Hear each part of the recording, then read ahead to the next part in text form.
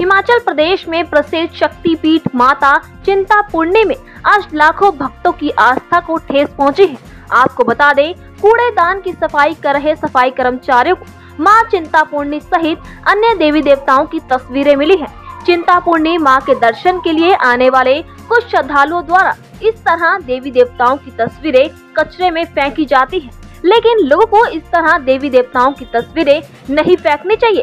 हालाँकि इस सफ़ाई कर्मचारी ने माँ चिंतापूर्णी सहित अनेक देवी देवताओं की तस्वीरें कूड़े से अलग कर रखी हैं। वहीं तस्वीरों का विसर्जन कर दिया जाएगा। लेकिन इस तरह की आस्था रखने वाले श्रद्धालुओं को देवी देवताओं की तस्वीरें कचरे में नहीं डालनी चाहिए।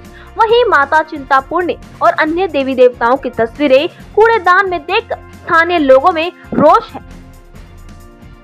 रोज की तरह जब हम धर्मशाला की सफ़ाई करके कूड़ा फेंकने जलंधर धर्मशाला के सामने गए तो उसमें जो कूड़ा पात्र बना है, उसमें माता चिंतपूर्णी के पिंडी रूप की कई फोटोएँ मिली, जिनको मैंने और सफ़ाई कर्मचारियों ने मिलकर उठाया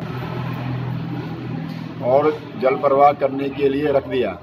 ऐसे लोगों से निवेदन है कि जिसके नाम से आप रोटी खा रहे हो कृपया ऐसा काम न करें। हिंदू धर्म की आस्था को बनाए रखें। उधर स्थानीय सराय के मैनेजर प्रवेश का कहना है कि जिन देवी देवताओं के आशीर्वाद हम अपना जीवन खुशी से जी रहे हैं, उनकी फ़ोटो के साथ ऐसा व्यवहार दुखद है। उन्होंने लोगों से अपील की है कि इस तरह देवी देवताओं की तस्वीरें कूड़े कचरे में ना फेंके। इससे लोगों की आस्था को ठेस पहुँचती है।